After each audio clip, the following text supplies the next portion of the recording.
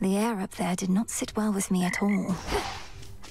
Hail, witch! Wait, so the horned guy over there, he's the one who shows up whenever some mere mortal is about to die in some horrific...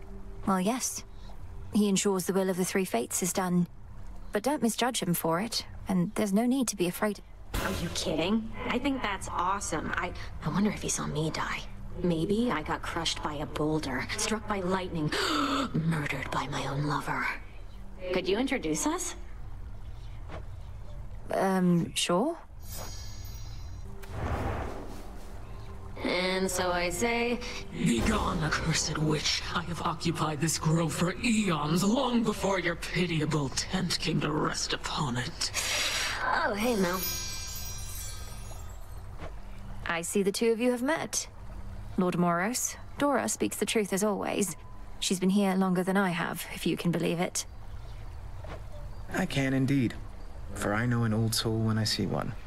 It's a pleasure to meet you, Dora. Do let me know if I can be of service in some way. Count on it, Horns. Now then. I bid your leave. Farewell. Farewell.